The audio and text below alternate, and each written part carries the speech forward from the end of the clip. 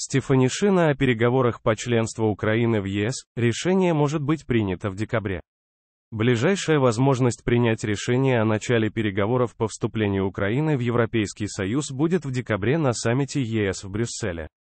Однако к тому времени нашей стране необходимо завершить выполнение семи рекомендаций Еврокомиссии. Об этом сообщает РБК Украина со ссылкой на заявление вице-премьер-министра по вопросам европейской и евроатлантической интеграции Украины Ольги Стефанишиной в эфире телемарафона. Такое решение сегодня производится на уровне лидеров.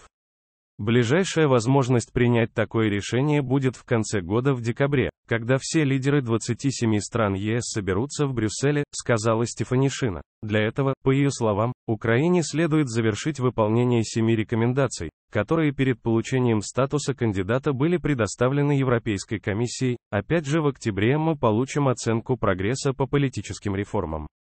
Мы надеемся, что наша работа сейчас, и парламентская, и правительственная, и лидерство президента, в авангарде этого процесса, позволят нам получить рекомендацию Еврокомиссии о возможности открытия переговоров, добавила вице-премьер, вступление Украины в ЕС.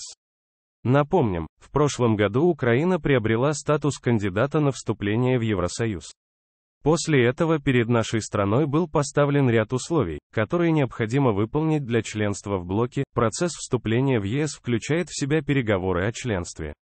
Официальные лица нашей страны неоднократно отмечали, что хотят начать такие переговоры уже в этом году. По состоянию на конец июня наша страна выполнила два из семи условий, необходимых для начала переговоров. Отметим, вчера вице-премьер-министр по вопросам европейской и евроатлантической интеграции Украины Ольга Стефанишина выразила уверенность, что переговоры по вступлению в ЕС начнутся в этом году, а президент Владимир Зеленский заявил, что власти Украины работают над тем, чтобы наша страна уже в этом году была готова к началу переговоров по членству в Европейском Союзе. Срочные и важные сообщения о войне России против Украины читайте на канале РБК Украина в Телеграм.